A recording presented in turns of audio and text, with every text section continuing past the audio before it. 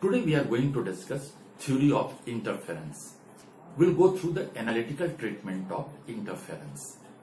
We'll see how superposition of waves can give you the interference there and uh, what will be the condition there for getting the maxima or minima there for different parts there or different cases there.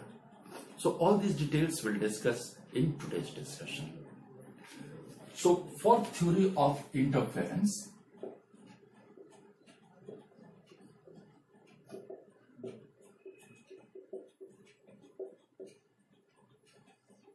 remember what we are saying for interference, it is the phenomena of redistribution of energy in a medium when the waves meet under certain specific conditions.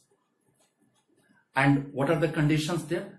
The waves must originate from coherent sources. They must be of same frequency, nearly same amplitude. They must be traveling along the same line.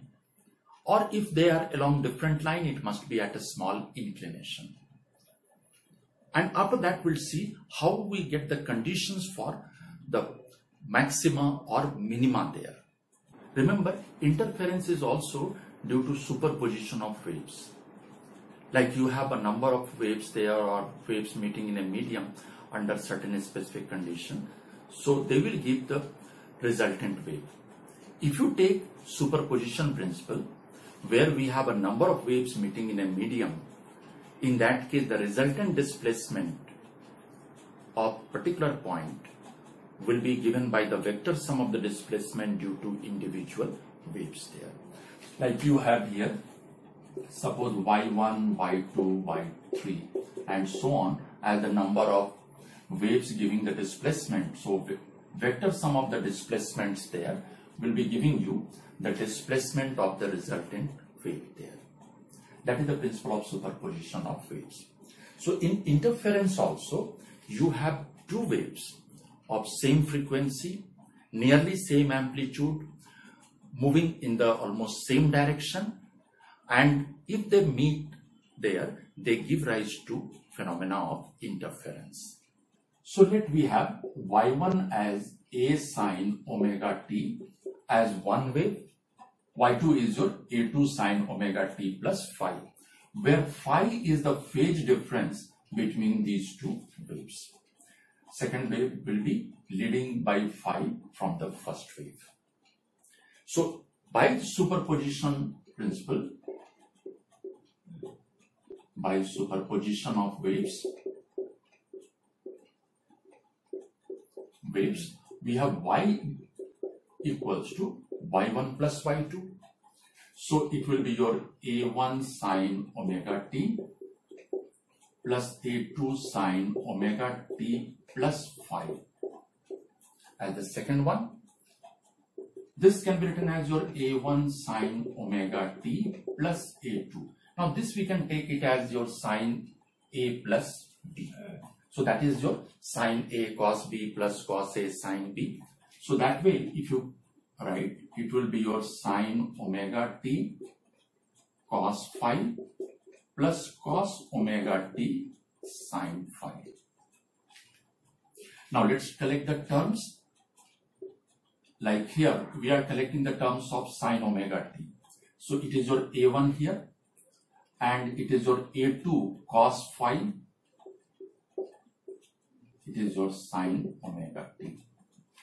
And another term is your a2 sine phi cos omega t. Now let's assume that a1 plus a2 cos phi this is your a and this is your suppose cos delta and a2 sine phi this is your a sine delta so what you will get here if you substitute you will get y equals to a sine omega t cos delta plus a cos omega t sine delta. So this particular term, if you take A outside, in that case, this will be your A sine omega t plus delta. This is your Y. So this is the expression for the resultant wave where A is its amplitude and its phase will be given as your omega t plus delta. We can get the values of A and delta if you take help of this relation. Like here, if I suppose a square and add. So in that case, by squaring and adding, this is suppose your equation 1 and uh, this is your 2. So from first and second equation, we have a square cos square delta plus sine square delta. This is your a1 plus a2 cos phi whole square plus a2 sine phi whole square. So this is your a square a1 plus a2 cos phi whole square and a2 sine phi whole square or a will be equal to the square root of this quantity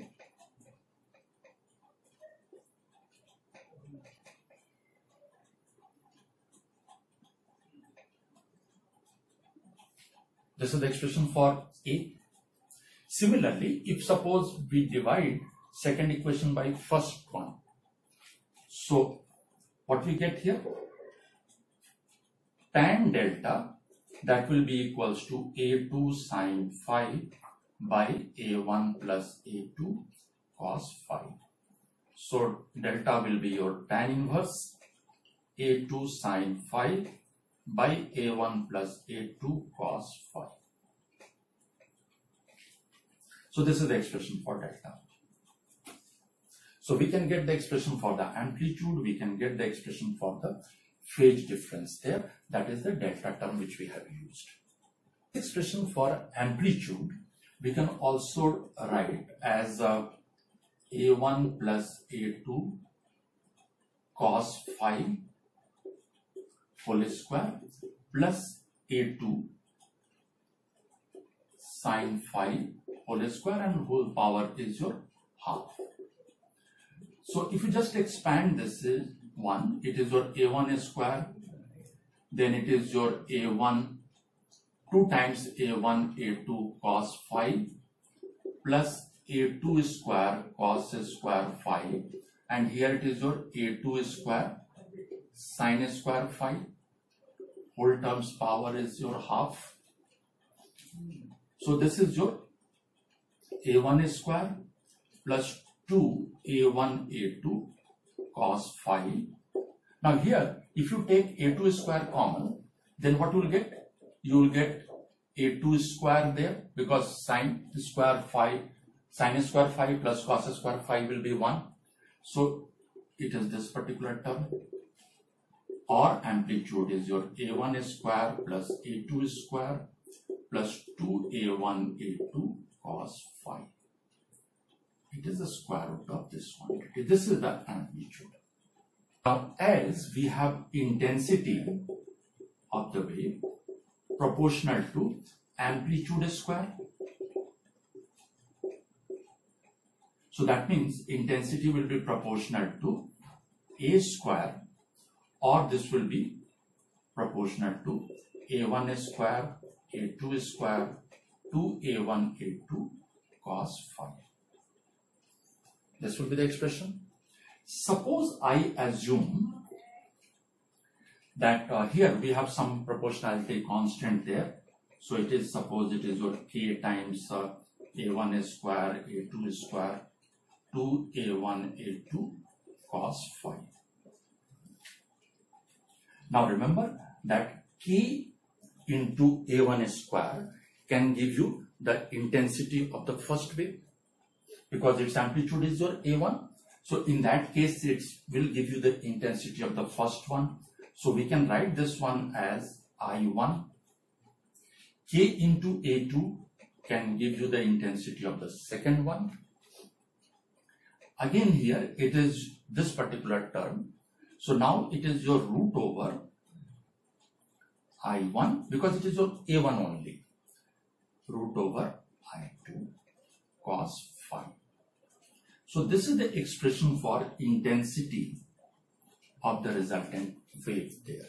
Now here, what is this particular term? This phi is the phase difference between the two waves, y1 and y2 which we have taken. If you consider that on the screen when we get maxima and minima, then at a particular point when I'm getting maxima, then it should remain same with time. It should not change with time. So th there should be permanent point of your maxima, fixed point of your minima like that. So if this particular term phase difference, which is there, the phase difference is either zero or it is constant with respect to time, then intensity term at any point will not change. So wherever you are getting there, maxima there, there will be a point of maxima only. Where it is minima, it will remain same there with all different instants of time. So it's not going to change there. And if it is not going to change, in that case, this term will remain same there, or it will remain constant there. So that is why we need coherent sources there. Because then the coherent sources will be there, we have where there is a phase difference is either zero or constant with respect to time. So in that case, it will remain same points there of maxima and minima. It is not going to change there.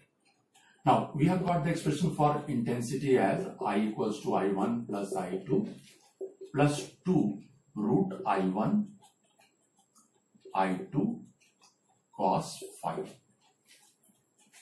If we want to take constructive interference, so for constructive interference, this I should be maximum and maximum value of I will get when cos phi has maximum value. So for constructive interference, this cos phi should have the maximum value. And what is its maximum value? It is your plus 1. So when we get that, this will be there when phi is equals to 2n pi.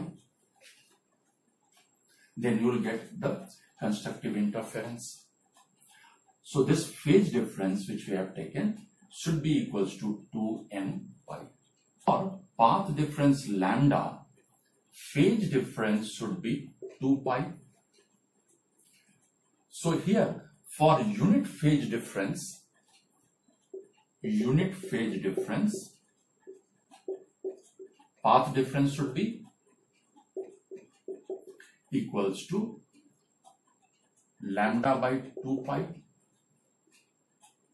Therefore, if I have the phase difference, difference phi, that will give you the path difference as lambda by 2 pi into phi. Phase difference phi, the path difference is your lambda by 2 pi into phi. And what we have got the value of phi for constructive interference? So this is your 2n pi. Therefore, path difference will be equals to lambda by 2 pi into 2n pi and that is equals to n lambda. So what we get for constructive interference, interference path difference should be equal to n lambda. So this is the condition for constructive interference. You go on putting the value of n 1, 2, 3 and other, you will get the constructive interference there. One more thing you can notice, for constructive interference, we have taken cos phi equals to plus 1. So here, I will be how much? This will be your I1 plus I2 plus 1 I2. This will be the value of the intensity there. Because cos phi value we have taken as 1 there. So if you take the maximum intensity, so I max which is this particular one. How much it will be? This you can get by a1 plus a2 whole square because this one is your k a1 square. This is your k a2 square 2 k root over k a1 into a2. So if you put that one, you will get that one as your a1 plus a2 whole square. For destructive interference, if you take, then it should have the value minimum there. So in that case, cos phi value will be equals to minus 1 there. And if you put that one as minus 1, when we get that, phi should have the value like uh, pi, 3 pi, and so on. In general, you can say it is your 2n minus 1 pi. This is your phi. So in that case, the path difference, if I take, which was your lambda by 2 pi into phi. So this one will be equals to lambda by 2 pi into 2n minus 1 pi. So ultimately it is your 2n minus 1 lambda by 2. So this is the path difference for destructive interference. Also, as we have taken cos phi equals to minus 1, so how much will be i there? Because this time it will have the minimum value. i1 plus i2 plus 2 times and then minus 1. So this one will give you ultimately if you put for minimum value will be your a1 minus a2 whole square. Because again it will be your k a1 square k a2 square like that. So it will be your basically a1 minus a2 whole square. So here remember the formula for i max to i minimum if we take it is how much a1 plus a2 whole square by a1 minus a2 whole square. And this is what this is the intensity ratio of interference factor and when we are getting we are getting when i1 by i2 this is your a1 square by a2 square. We have assumed that uh, i1 is the intensity of the first wave whose amplitude is a1 second one has amplitude a2 so in that case you can get this relation let's now take interference and energy. Energy distribution you can say. So interference and energy distribution.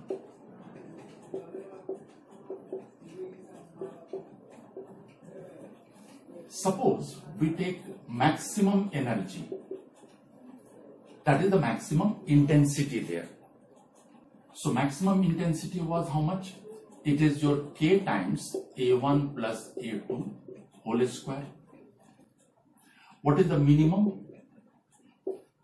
This is your k times a1 minus a2 whole square. If you want to find what is the average intensity in that medium there. So average intensity,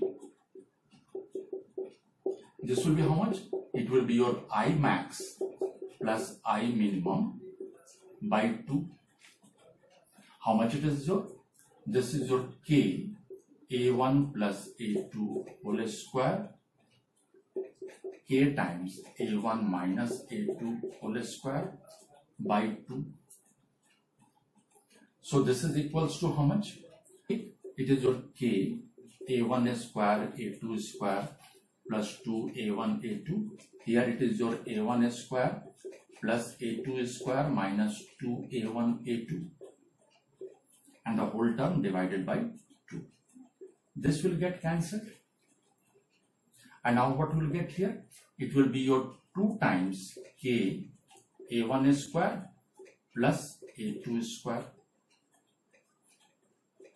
by 2. And what is this one? This 2 will get cancelled. So this is your basically I1 plus I2. That means what we have got? Average intensity is basically the sum of the intensity of the two sources there in that medium. Whatever was the intensity of the first source, intensity of the second source there, there on the screen you have the average intensity given by the sum of the two. It simply means that the points of maxima and minima which we are taking, there the energy simply gets redistributed. In the region of minima or destructive interference, there is a decrease of the intensity. But at the same time, in the region of the constructive interference, there is an increase of the intensity. So what has happened to that particular medium? Energy has simply moved from the region of destructive interference to the region of constructive interference. That is why in the definition we have said that interference is the phenomena of redistribution of energy in the medium. So that also you can show from this expression. This is all about the theory of interference.